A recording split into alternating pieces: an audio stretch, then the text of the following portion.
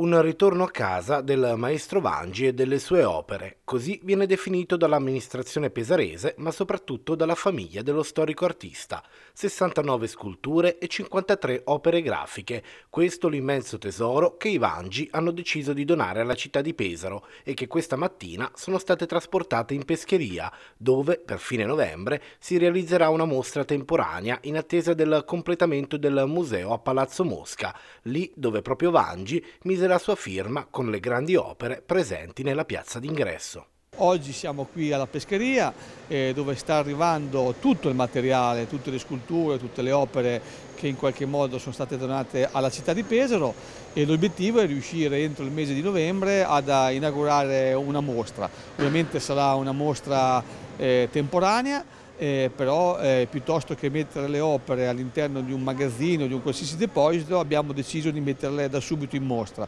Non so se riusciremo a metterle in mostra tutte perché sono, sono veramente tante, però cercheremo di dare dire, un, un, senso a questa mostra che vogliamo organizzare, ovviamente in maniera provvisoria e temporanea, in attesa che poi sia completato il museo che stiamo portando avanti, ci sarà un vero e proprio museo dedicato al maestro Vangi eh, di cui tutta la città sicuramente sarà orgogliosa e a guadagnarci sarà quella che è l'opportunità che i turisti avranno nel momento in cui verranno a visitare la nostra splendida città. Un grande gesto di generosità da parte del maestro Vangi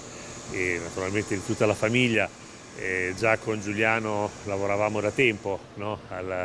all'ipotesi, sperando naturalmente di poterlo fare con lui in vita, ma di donazione di gran parte delle sue opere alla città di Pesaro in nome del fatto che lui si sentisse ormai pesarese da decenni e anche del, diciamo, de, dei segni che in questi anni aveva iniziato a lasciare materialmente nella città, dalla eh, scultura della memoria in Piazzetta Mosca, che ormai è diventato un angolo iconico della città, ai gabbiani,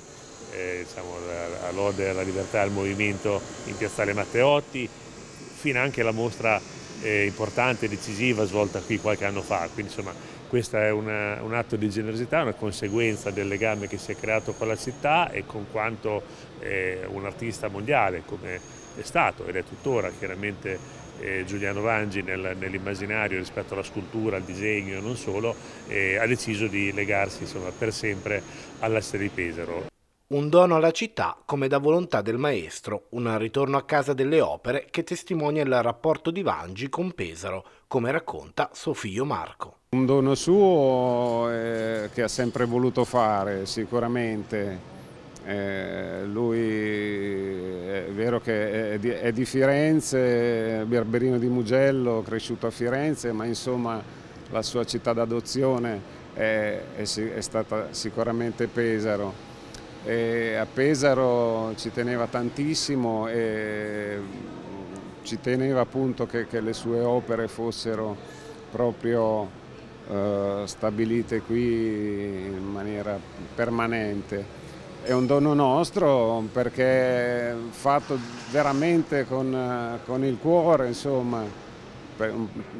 sia per il rispetto della volontà de, de, de, del babbo, sia per il piacere proprio di, mm,